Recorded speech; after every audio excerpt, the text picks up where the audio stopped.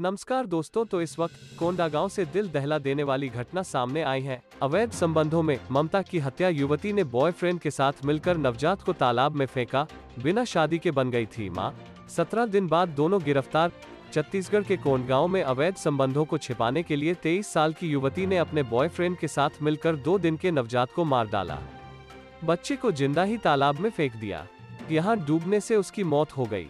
Police ने 17 दिन बाद मामले का खुलासा कर शुक्रवार को दोनों आरोपियों को गिरफ़्तार कर लिया है। मामला विश्रमापुरी थाना क्षेत्र का है। युवक, युवती दोनों विश्रामपुरी के रहने वाले हैं। युवती का अजय दास 30 वर्ष के साथ कई सालों से प्रेम प्रसंग चल रहा था। इस बीच वो गर्भवती हो गई। उसने छिपते छिपाते 10 अगस्त को एक बच्चे को जन्म दिया। इसके बाद 11-12 अगस्त की रात हलबापारा के तालाब में फेंक दिया। युवती ने पुलिस को बताया कि उसे डर था कि शादी से पहले वो माँ बनी है। कहीं इसका राज न खुल जाए।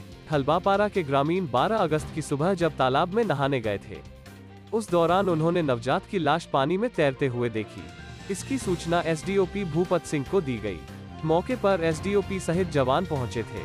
इन्होंने नवजात को पानी से बाहर निकाला।